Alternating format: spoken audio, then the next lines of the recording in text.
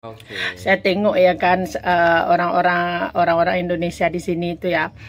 Uh, mereka um, boleh dikatakan berduit lah mewah lah gitu ya kan. Memang uh, terbaik lah orang Malaysia di kampung ni sama pekerja-pekerja Indonesia ya kan. Boleh saya katakan rata-rata pekerja uh, Indonesia ni yang bekerja kebun kerja sawit semua uh, hidupnya boleh katakan enak lah makan juga enak, tinggal juga enak, kawan juga ramai, aman lagi di Malaysia ni ya teman-teman ya.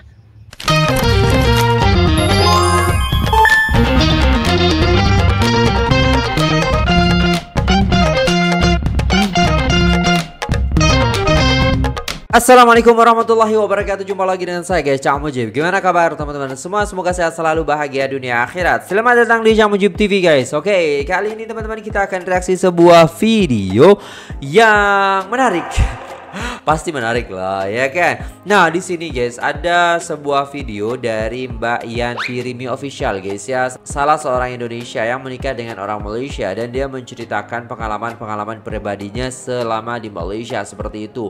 Bagaimana kehidupannya, bagaimana kesehariannya gitu guys ya. Ini sangat-sangat menarik kontennya. Jadi jangan lupa untuk like, share, komen, dan subscribe. Linknya di deskripsi guys ya. Di sini ya tema yang akan kita angkat adalah kenapa ya ramai orang Indonesia, orang orang muda Indonesia merantau ke Malaysia. Oke, tanpa berlama-lama, jom kita tengok videonya guys. Let's go.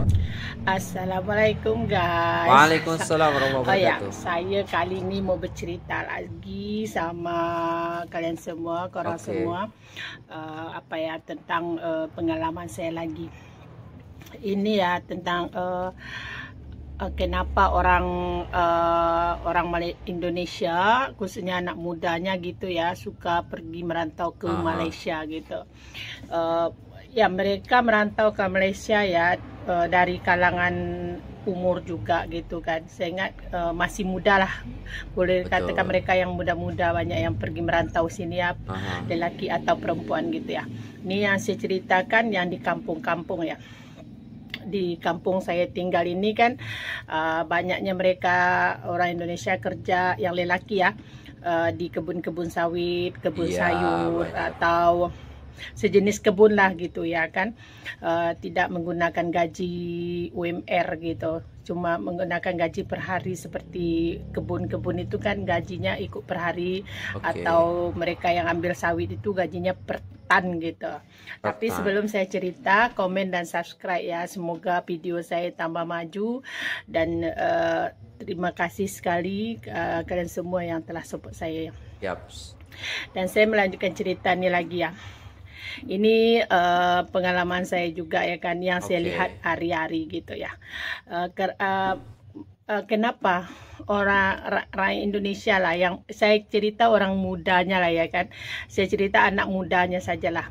Uh, saya nggak nggak tahu mereka ada ada kelulusan di sana atau mereka tidak bersekolah di sana. Saya tidak tahu saya tidak pernah bertanya juga kepada okay. mereka ya kan. Saya kan jualan makan ya kan. Mereka ya selalu datang ke kedai ini. Saya melihat oh. uh, mereka kebanyakan muda-muda gitu.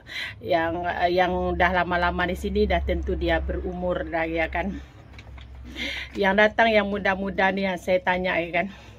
Kenapa kalian datang ke Malaysia masih muda-muda seperti ini gitu ya?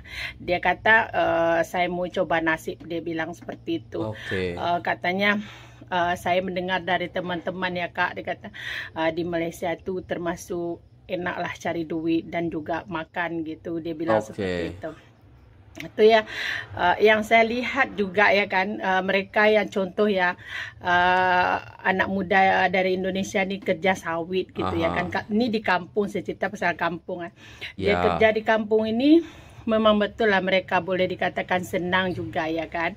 Uh, seperti di kalau di kampung-kampung Malaysia ni sewa rumah juga murah teman-teman. Paling oh. mahal pun bagi yang bagi majikan yang enggak sewa kan kalau mereka sewa sendiri pun baru 200 ribu oh. atau 100 ribu gitu. Itu rumahnya sudah cukup besar gitu di kampung-kampung kan. Uh, mereka duduk bukan satu orang gitu, dua atau tiga orang di dalam gitu. Okay. So tidak terbeban dengan sewa rumah ya kan. Uh -huh. uh, so kalau kalau makan di kampung-kampung Malaysia ni juga sangat boleh dikatakan masih murah gitu ya kan. Kalau mereka pagi-pagi selalu makan Uh, kalau mereka ambil nasi contoh ya nasi lemak aja kalau sama ayam di kampung-kampung ini baru paling mahal lima ringgit sama air oh. gitu ya oh. Nescafe ice atau Milo ice gitu sama air baru tujuh setengah tujuh ringgit lima puluh sen gitu sepagi. Itu sarapan pagi aja ya. Uh, tengah hari juga lebih kurang seperti itu juga. Malam lebih kurang seperti itu juga. Nggak jauh-jauh gitu harganya sudut mereka makanya mereka yang orang Indonesia yang bekerja kerja di kampung-kampung Malaysia ini sangat senang sekali teman-teman oh, okay. dan juga ke mana-mana ada yang bagi majikan bagi mereka motor ya okay. minyak motor di Malaysia ini juga murah, murah kalau yeah. diisi sepuluh ringgit saja udah penuh, penuh udah boleh tahan lebih kurang 15 hari udah udah boleh tahan minyak motornya gitu ya. wow. ya uh, jadi mereka senang sekali cari duit di Malaysia ni okay. especially di kampung gitu ya kan itu saya cerita pas makan sama sewa ah. rumah ya minta maaf sewa rumah tadi bukan 200 ribu gitu 200 ringgit masuk saya ya kan ada makanya saya kaget kalau kalau istilahnya 200 ribu itu udah dapat rumah ya kan kalau di Malaysia ya kan?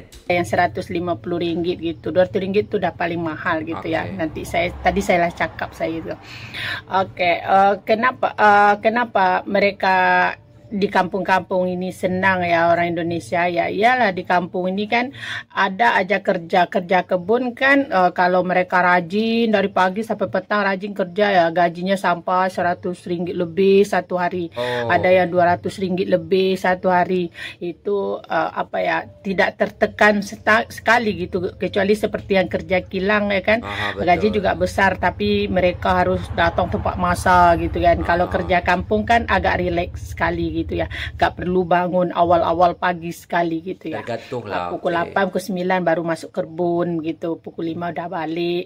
Kalau banyak kerja lah kalau kerjanya agak kurang mungkin tengah hari udah balik gitu. Seperti orang kerja sebun sawit gitu ya kan. Okay. Saya tengok ya kan uh, orang-orang uh, orang-orang Indonesia di sini itu ya. Uh, mereka um, boleh dikatakan berduit lah mewah lah gitu ya kan. Seperti uh, di Malaysia nih ya bekalan makanan juga boleh dikatakan tidak cukup mahal lah gitu ya kan. Macam seperti ya kalau beras uh, 5 kilo baru 20 ringgit gitu ya kan. Okay. mereka sudah boleh makan untuk berapa minggu dibilang kalau dah 5 kilo gitu ya kan. Kalau mereka ramai ya boleh beli yang besar itu beras tahan berbulan-bulan baru berapa ringgit gitu ya kan. Kalau ikan juga ayam juga masih terjangkau harganya gitu. Jadi mereka hari-hari boleh makan yang enak-enak gitu ya kan. Okay. Kalau mereka tak kerja pun dua hari, tiga hari nggak kerja contoh ya kan. Uh, tapi dalam seminggu tiga hari nggak kerja, dua hari kerja udah cukup untuk mereka makan seminggu juga gitu. Oh.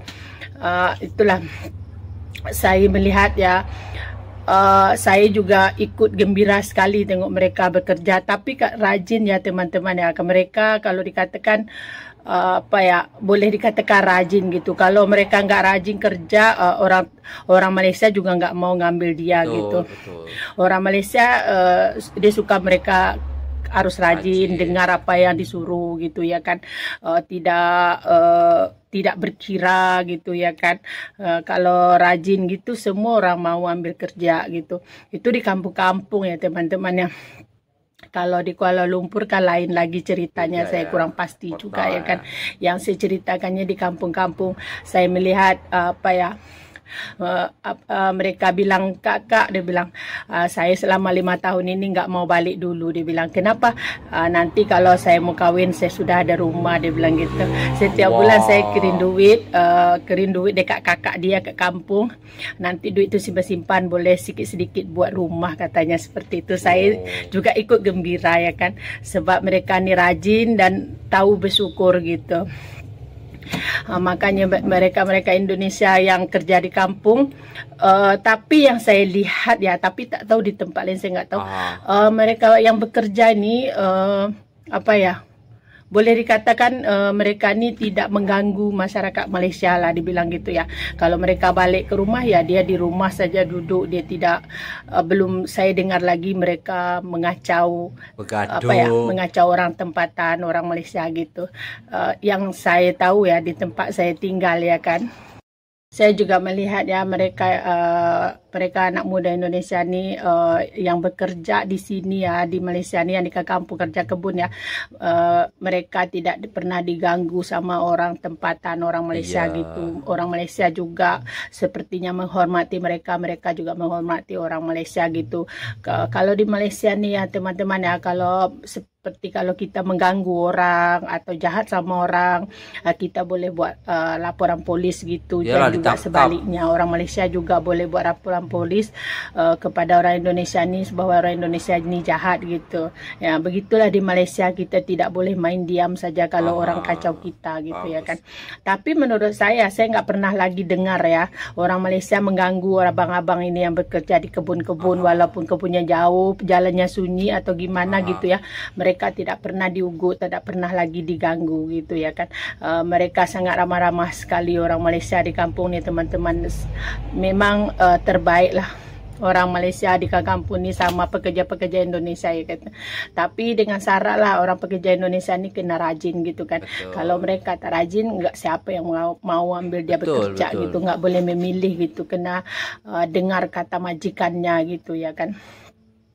Tapi kebanyakan mereka Indonesia ni ya kan, kenapa mereka boleh senang, boleh ngirim duit banyak ke kampung gitu ya kan. Mereka di sini gaji hari kan, gaji hari, setiap bekerja pasti dapat gaji, setiap bekerja kan dapat gaji. Okay. Makan juga dapat gitu ya kan setengah majikan bagi dia makan gajinya bersih kan enak gitu ya kan uh, dan juga duit Malaysia kena tiga kali lipat kan kalau kita rupiahkan Betul dapat tiga kali lipat tiga ratus ringgit satu juta ya kan tiga ratus ringgit ya lebih kurang baru dua hari dia bekerja dah dapat satu juta ya kan okay. uh, kalau mereka setiap bulan kirim banyak-banyak gitu tiga kali lipatkan saja duit rupiahnya. Mestilah banyak ya kan?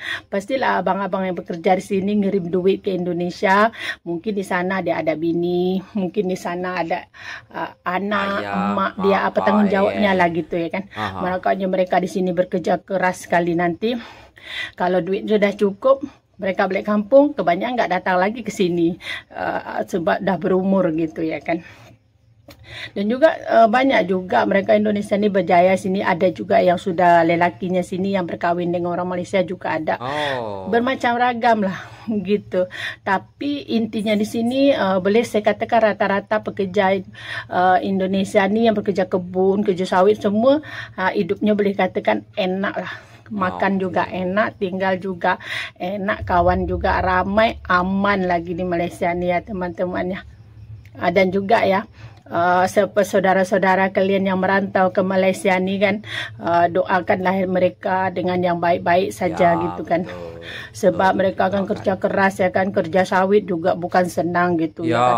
dalam betul. hutan ada tempatnya berair atau gimana banyak sekali cabaran dari rintangannya teman-teman jadi kalian yang punya saudara bekerja di sini berdoa doakan yang baik-baik dimudahkan mereka rezeki amin, gitu. amin. Uh, jadi jangan berharap sangat uh, harus kirim duit ke kampung harus kirim duit. Jangan kasihan uh, orang bekerja di sini juga ya kan? Uh, banyak sekali uh, apa ya cerita-cerita saya lagi nak pengalaman saya di sini melihat mereka bekerja okay. gitu ya kan? Uh, saya juga ikut gembira lah dengan diorang gitu ya kan saya juga banyak bertanya dengan abang-abang itu.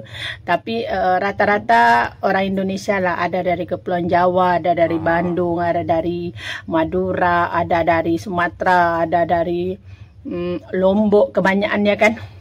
Merata Indonesia juga ada di sini ya dari Flores gitu ya kan. Uh. Tapi uh, orang Indonesia umumnya lah gitu tak kira negeri apa gitu kan uh, dan juga saya ikut gembira dengan mereka bekerja ramai sekali uh, orang Malaysia puji mereka rajin gitu ya kan orang tempatan juga rajin teman-teman orang tempatan nggak kalah rajin dengan kita oh. ya kan oh. dengan orang Indonesia bekerja gitu tapi beza orang tempatan mereka kan ada pendidikan ya bekerja sesuai lah dengan pendidikannya nggak okay. mungkin lah dia pendidikannya bagus dia kerja ke kebun kan nggak mungkin lain juga ya kan? Bagian-bagian yang mereka nggak mau kerja ya diambil orang Indonesia okay. untuk bekerja gitu kan? Orang Indonesia kan perlu duit kan nggak apa-apa. Janji-janji itu halal gitu ya kan? Oke okay, teman-teman ya. Oh, kalau saya ada silap uh, silap dan salah saya minta maaf. Ini cuma just pengalaman saya saja. Oke okay, sampai di sini dulu video saya. Assalamualaikum. Bye bye Waalaikumsalam warahmatullahi wabarakatuh. Alright kita selesai videonya. Dan itulah tadi ya guys ya Masya Allah. Terbaik memang guys ya uh, Pengalaman daripada Mbak Yanti ini guys. Jadi kita bisa tahu juga kenapa sih uh, orang-orang muda gitu kan Banyak ke sana. Banyak kan yang mengadu nasib Sama kayak dulu pas waktu muda gitu kan. Saya dulu juga merantau gitu guys. Jadi ya tau lah dan memang tiga kali lipat gitu. Dan kita merasakan itu dan bisa bangun rumah. Uh, ada juga tetangga saya itu sekarang sedang di Malaysia juga. Dan alhamdulillah rumahnya sudah bangun guys. Dan itu megah guys ya. Maksudnya gede gitu guys ya. Dan ya memang belum selesai seutuhnya. Cuman kalau kita lihat daripada uh, berdiri kokohnya rumah itu itu sangat-sangat bagus sekali. Itu hasil daripada Malaysia. Dan banyak juga tetangga-tetangga saya itu juga bangun rumah karena juga bekerja di Malaysia juga. Dan tidak kalah juga ya guys ya. Eh, orang-orang uh, sana juga berlomba-lomba bekerja keras untuk juga menyaingi seperti itu ya. Ya namanya juga kehidupan. Kita juga harus uh, punya apa namanya ya tujuan lah seperti itu. Dan sehingga kita juga bisa mencapai mimpi kita juga gitu guys ya. So itu dulu video kali ini guys. Terima kasih sudah tengok video ini sampai selesai. Apabila ada salah kata mohon dimaafkan. Saya pamit undur wassalamualaikum warahmatullahi wabarakatuh